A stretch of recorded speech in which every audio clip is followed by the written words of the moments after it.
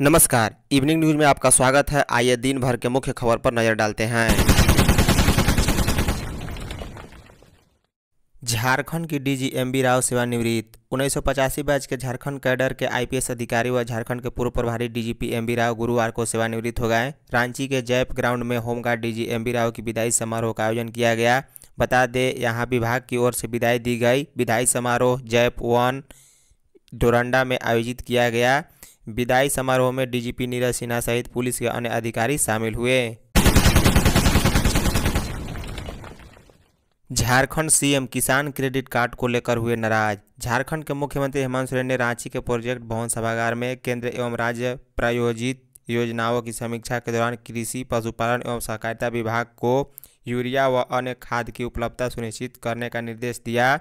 इसके साथ ही कृषि की स्थिति को और बेहतर करने को कहा। उन्होंने धनबाद के उपायुक्त को बंद हो चुके माइंस में जमा पानी का उपयोग सिंचाई के लिए करने को कहा। बता दें, किसान क्रेडिट कार्ड जारी करने की धीमी गति पर मुख्यमंत्री ने नाराज़गी जताई। उन्होंने कहा कि हर किसान के हाथ में किसान क्रेडिट कार्ड होना चाहिए। यह किसानों के लिए बेहद ज़रूरी है। झारखंड के पलामू, चतरा, गढ़वा, लातेहार आदि ज़िले में गुरुवार को अच्छी बारिश होने की उम्मीद है। बता दें, इस दौरान हवा की गति 50 किलोमीटर प्रति घंटा तक हो सकती है। राजधानी रांची, देवघर और दुमका समेत कई जिलों में मेघ गर्जन के साथ बारिश हो सकती है। इस दौरान वज्रपात की भी आशंका है। मौसम विभाग की माने तो एक दो अक्टूबर से बारिश से थोड़ी राहत मिल सकती है।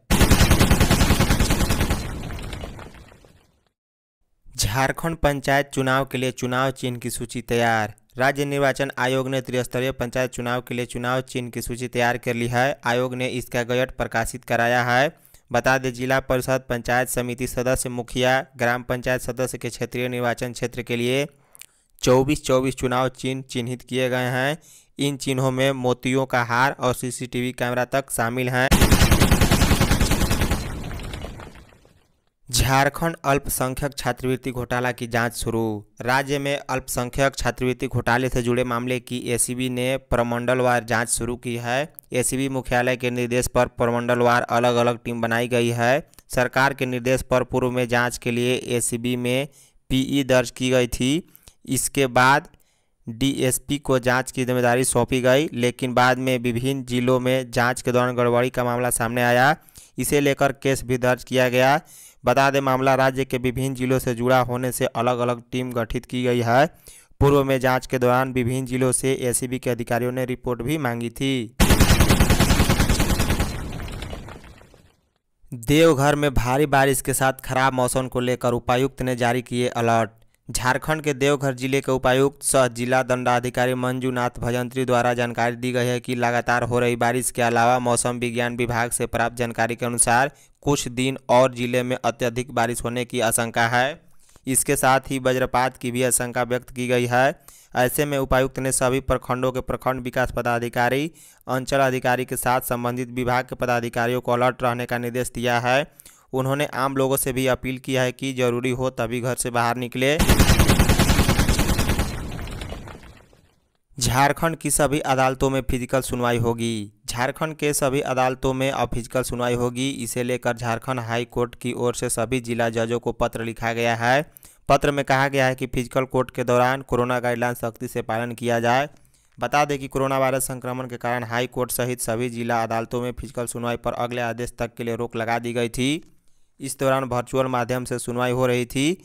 इधर आज गुरुवार को ही झारखंड हाईकोर्ट में जल स्रोतों के किनारे हुए अतिक्रमण को लेकर दाखिल याचिका पर सुनवाई हुई।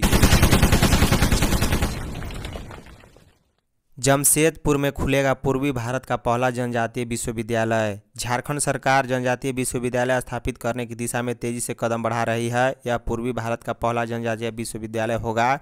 बता दें, जमशेदपुर के गालूडी और घाटशिला के बीच इस विश्वविद्यालय के निर्माण की योजना है। इसके लिए प्रारंभिक तौर पर 20 एकड़ ज़मीन भी चिन्हित की जा चुकी है। विश्वविद्यालय के निर्माण का उद्देश्य जनजातीय भाषा और आदिवासी समुदाय की समृद्ध सांस्कृतिक परंपरा को सहेजने, उन पर शोध करने तथा आदिवासी समाज के मेधावी विद्यार्थियों को प्रोत्साहित करना है। वाहनों से जुर्माना वसूलने में पिछड़ रहा झारखंड। देश के विभिन्न राज्यों की तुलना में झारखंड में वाहनों से हो रही वसूली कहीं कम है, बता दें पिछले पाँच वर्षों से राजस्व वसूलने में खर्च राशि कुल राजस्व के लिहाज से राष्ट्रीय औसत से कहीं पीछे है। वर्ष 2014-15 में झारखंड में 6.2 करोड़ रुपए के करीब वार्षिक राशि व्यय करने के बाद 660 करोड़ रुपए की वसूली होती है। वहीं यह औसत 0.94 के करीब है, जबकि राष्ट्रीय औसत 6.25 है। सरकार के सामने यह समस्या कर्मियों और अधिकारियों की कमी के कारण सामने आ रही है। परिवहन विभाग ने इसी आधार पर अधिकारियों की संख्या बढ़ाने का प्रस्ताव दिया है। कैबिनेट की बैठक में एम के नए पदों के लिए स्वीकृति प्रदान की गई है। अमोनिया गैस प्लांट को सील करने का आदेश। झारखंड विधानसभा की पर्यावरण एवं प्रदूषण नियंत्रण समिति द्वारा बुधवार को अमोनिया गैस फैक्ट्री, कमड़े तथा झीरी आनंद नगर स्थित कचरा डंपिंग यार्ड की जाँच की गई। सबसे पहले विधानसभा समिति कमरे के अमोनिया गैस फैक्ट्री पहुँची। वहाँ रिफिलिंग का काम जारी था। बता दें, समिति ने रिफिलिंग का काम बंद कराकर सील करने का आदेश दिया। समिति ने कहा कि जब तक पूरी रिपोर्ट नहीं आ जाती, तब तक इस कंपनी में रिफिलिंग का काम नहीं होगा।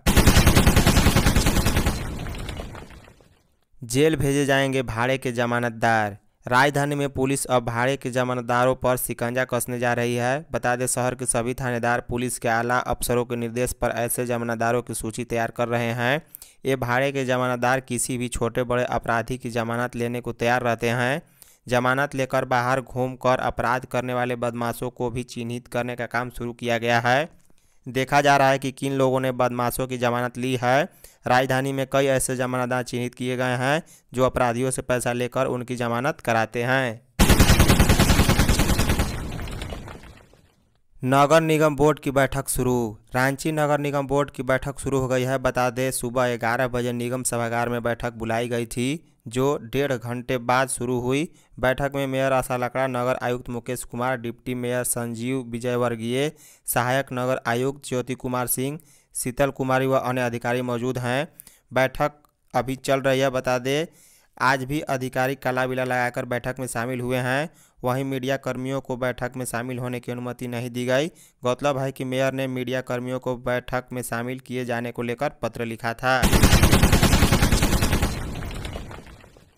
सरना कोड के लिए आदिवासी संगठनों ने दिया धरना।